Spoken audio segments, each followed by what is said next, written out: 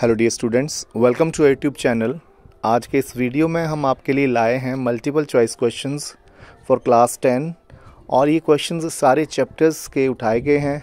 Chapter one से लेकर chapter fifteen तक। हर चैप्टर के फिफ्टी एमसीक्यू टाइप क्वेश्चंस होंगे और कुछ filling the blanks type questions होंगे। तो इनके आंसर्स भी साथ में दिए गए हैं। आप इनको सॉल्व करें। सो so, आपके एग्ज़ाम की प्रेपरेशन के लिए आपके हेल्प करेंगे।